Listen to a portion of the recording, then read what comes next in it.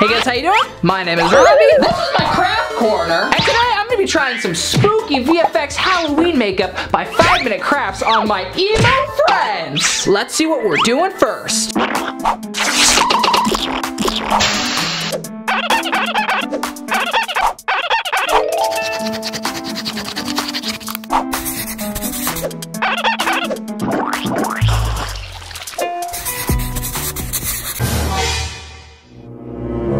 Okay guys, so our first volunteer is Johnnie Guilbert. Are you ready to have your neck sliced open? Honestly, yeah. With makeup, with Oh. makeup I mean. So the first thing we're gonna need is some liquid latex. A boobity boo. Then we uh, carefully apply the liquid latex to Johnnie's neck.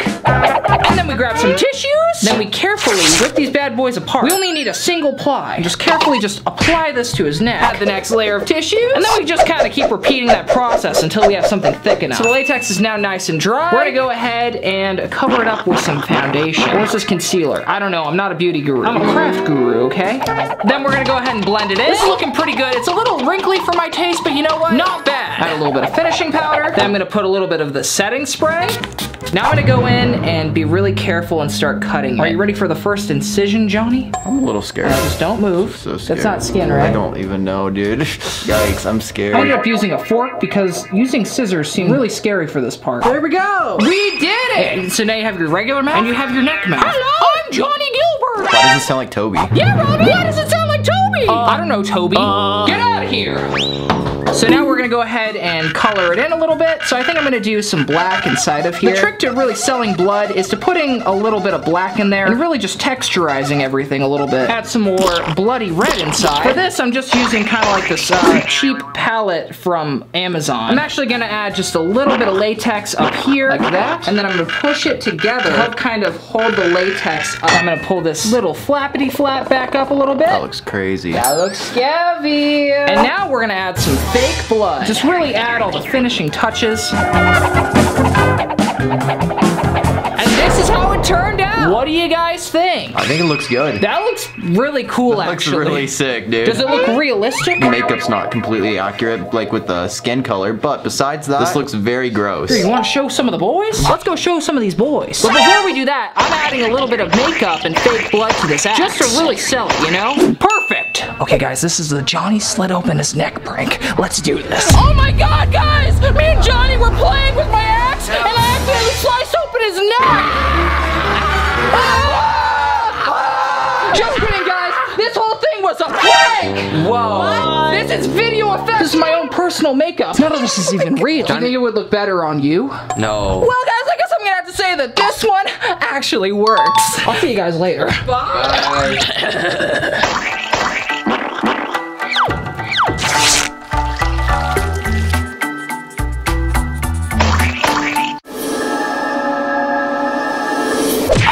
guys, you've seen this guest before. My roommate, Hair Jordan. Oh, we're roommates. We've been roommates for about six months now, but now I'm gonna be doing your makeup. Thanks for volunteering for this. It's definitely not a prank. I believe that 100%. Okay, Chris, so the first thing I'm gonna do is I'm actually gonna put your hair up. I know your hair Jordan, but you're gonna be bald Jordan, right? oh no! Bald Jordan, dang it. My arch nemesis. Whoa! We're all good to go. Yeah. So the first step to this is I'm gonna have to add some liquid latex to exactly half your face. Add the liquid latex Yes. to your face. Dude, I love liquid latex. Okay, then apparently we're gonna go ahead and get ourselves some oatmeal. I'm not sure how they expect me to do this. Let's lean your head back a little bit. Now we're gonna carefully add...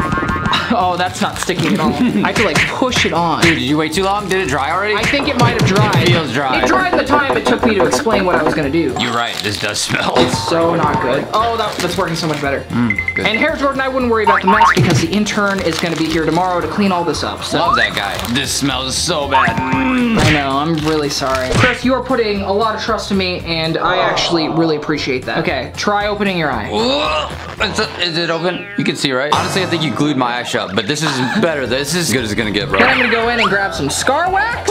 Uh, boobity boo. There we go. I don't really get the whole point of the scar wax, but I guess it looks okay. So now I have to try and cover all this oatmeal in green paint without knocking it off. I'm gonna try my best, but I don't know how well this is gonna, I think I'm gonna use different paint. Oh, that's nice. That's like a mossy green. Yeah, this looks more like what we're going for too. It's perfect. Dude, this feels so weird. I bet. You have oatmeal and latex and green weird paint on your face. This is what I imagine a lizard feels like with like a bunch of scales. like an armor, you know what I mean? Like the lizards that have armor. I could totally see that. Should use frosting that way I could eat it if it gets in my Oh, mouth. oh my god, 100% edible makeup! I should have done that! Cake her face. So yeah, this is looking pretty crazy right now. On the other side, I'm gonna go ahead and add this Stitch. And I'm not talking about Lilo and Stitch. This looks like a good spot to really just put a bunch of latex on Chris's face. I think he's really enjoying this latex all over his face, and I can really tell. Ah!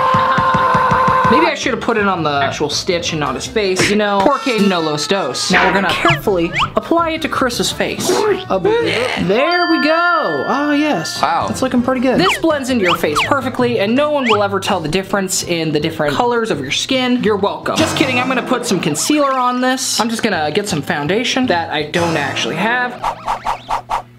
Yeah, that's not gonna work. This is what I do. I just cake it all on my face. I'm gonna shut my eyes for a while. Just trust you. Just rest your eyes, rest your soul.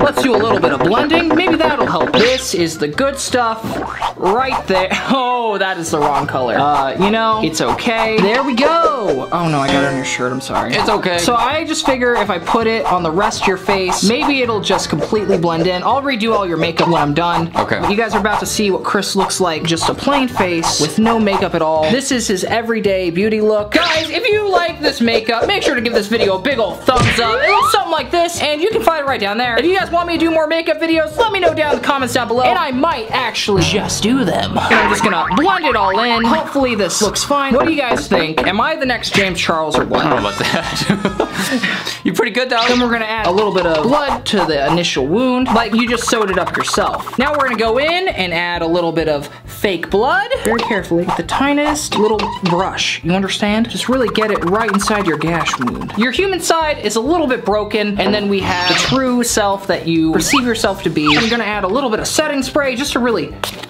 sets everything into place. So now we're gonna add some of this purple slime onto the green part of his face. Whatever you say, Robby. Oh, oh gosh. Ah! yeah, I ruined my shirt. Just let me just Okay. really just get it all over your Whoa. This is gonna feel really mm-hmm. strange for a mm-hmm. moment. Mm-hmm. This is an experience, dude. You need to experience this sometime. man. Okay, so now that we have slime absolutely everywhere, all over my hands, all over the camera, all over Hair Jordan, I think it's time for you to put your hair down and really just immerse yourself in the swamp monsterness. Okay. Oh yes. Super Saiyan. Oh my god, he's super It's in, it's in my mouth. Can you get it out? Oh, ooh, ooh. Whoa, this looks really cool. Okay, so now we can completely see your face and you look absolutely horrid. But this turned out absolutely fantastic. I really like the slime monster creature with the gash on your face. You have your human side and you have your swamp monster side and it looks absolutely fantastic.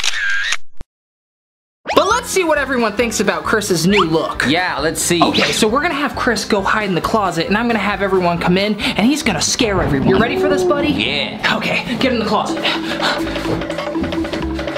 Ah! Oh my gosh! Everyone come in! Guys, I can't find Hair Jordan anywhere. Have you seen him? Where's Hair Jordan? I haven't seen him all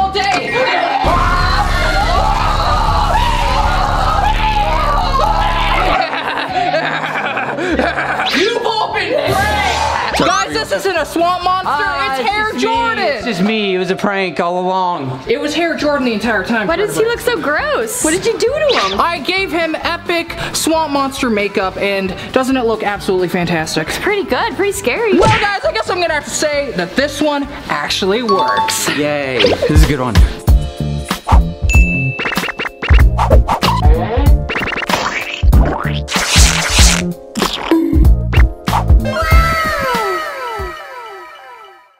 So up next, we have my friend Ren. I'm gonna be turning her into Coraline. I don't really know what this is supposed to be, but it's like a blue-haired rag doll. So the first thing we're gonna do is actually give her some contacts. Boop, there we go.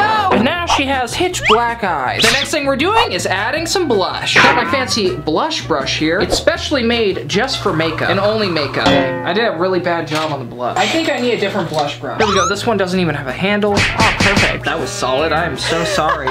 There we go. Yeah, Ah, blend it out. Blend it out a little. The next thing we have to do is add freckles. I don't have any mascara, but I have this face paint and a little fork. I'm just gonna go ahead and dip the fork right in the makeup and just hope that this works. It's kind of working. You have very straight lines on your face now. I think I'm gonna have to use this for freckles in the future. Fork method. You know, Ariel uses it to comb her hair, and we're using it to apply freckles. It's a multi-use tool right there. And I feel like I need to blend this in a little bit. No, that was not the move. That was definitely not the move. It's staying like that. You just have extra dark freckles. It looks great. I missed blush on the nose. I definitely went way overboard with the freckles, but that's okay. It's a good doll look. Now we're gonna give her some pink lipstick. Just a fair warning, I've always been really bad at applying lipstick. This isn't even real lipstick, this is just face paint again. There we go, looks pretty good. That honestly turned out a lot better than I thought. Oh no, you have some on her teeth. Now I have to go ahead and give her the stitches. That is not very clean. I thought I could make it a little bit thinner, but I guess not. This is the thinnest I can draw with paint. Now we're just gonna go ahead and scoot on to the other side. And next we're gonna grab some of these tissues and a little bit of latex. And then I'm gonna put some latex on her cheek right here. Put some of the tissue. More latex, more tissue, even more latex, maybe one more layer of tissue. Then we let this dry for a little bit. A few moments later. So now I have to carefully cut open her lip. Don't worry, I've done this four times now, so you have nothing to worry about, Ren. Okay, that's looking pretty good. Very clean. Next, we're gonna get some concealer. I'm supposed to use foundation for this, but you know, I feel like concealer would just work a little bit better. And already I'm sort of regretting putting this blush and the, the freckles on already. I think that should have been like the last step, if I'm being totally honest. I'm just staying true to the craft, okay guys? I'm gonna go ahead and touch up some of her makeup really quick. Looks good. Now we're gonna go ahead and add a little bit of liquid latex inside the scar and grab a little bit of cotton wool. I'm gonna use cotton balls. I think it might be the same thing. I'm not quite sure. Just stick it right in there. And now I'm gonna carefully stitch up her lip. Five Minute Crafts only did one stitch, but I think I'm gonna stitch up half of her face. Okay, that looks about good. Booty boop. And they just kind of left the needle in there. I definitely have mixed feelings about this one in terms of safety, but I definitely think it looks really cool. Okay guys, and this is how it turned out so far. Now we just have to add some of the final touches. We're giving her blue hair. It only makes sense to give her blue eyebrows. Eyebrows are, well, you know, kinda eyebrows. I did, I close enough, okay? Next, the blue wig. Gonna put on the hairnet first. Pull this down, carefully pull it back up, making sure not to get it on the needle. Now it's on your eyes. Oh god, I messed up, I messed up. Maybe I should have done this one first. I'm starting to regret my decisions, guys. Successfully messed up her makeup a little bit, and I have to redo it. Great. I'm kidding. Hairnet is in place. Now I'm gonna attempt to put on this wig. Guys, to be honest, I've never actually properly put on a wig before. Glad to be the experiment. I'm guessing it's like this, just like that. And now you're me. Twins! I'm gonna go ahead and brush this out a little bit. Are you supposed to brush wigs? I have no idea. So we gotta watch out for this needle. Just for safety reasons, I'm gonna go ahead and cut the tip of this needle. There you go. Now you don't have a sharp object on your face. And last but not least, guys, the button. Carefully just stick this onto your eye. You have to try and hold it on. They didn't use any adhesive or anything. Does that mm-hmm. stay? Yep. And there we go, guys. This is how it turned out. What do you guys think? Let me know down in the comments down below. I think it looks nice. Yeah, you think I did a good job? I think so. Oh. Oops. Let's see what the girls think. Oh, Tori Dobransky! Bench? You're not Tori. Oh, Tori Dobransky! Luna Ghostus! Come in here! I have something to show you! Yes? I made Ren into a living doll. What do you guys think? Ooh, oh, it's so cool, Robby. Good job. We're all just gonna switch all around. Your button gonna. it looks so good. Oh, it's so creepy. That looks so cool. do you guys like the stitching? In Yes, that's what I wanted to look closer at. The button is not a fan of staying. You see, it seems to fall off whenever she moves at all. anyway, guys, I guess I'm gonna have to say that this one totally works.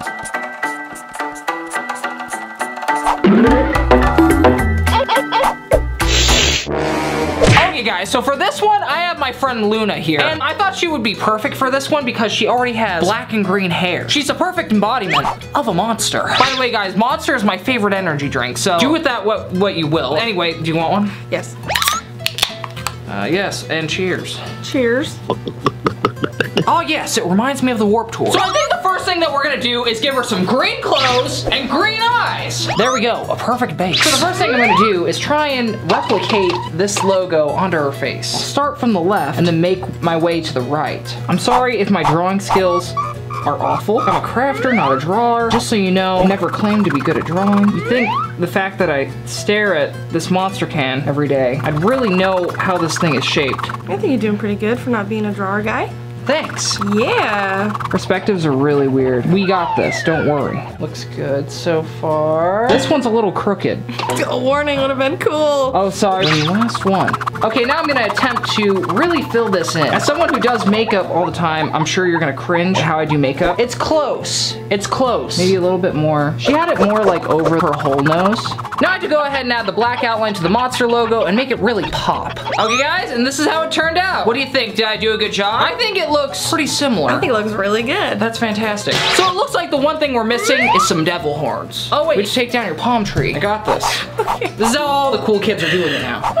wow. Wait, I did your hair the wrong way. Here, can you shake it? I do it like this. What if we use this to, I'll let you put it on. That looks pretty good. It covered up a little bit of the monster logo, but this looks pretty fantastic in my opinion. Okay guys, we're gonna see what Tori Dobransky and our friend Ren think, okay? Come in guys.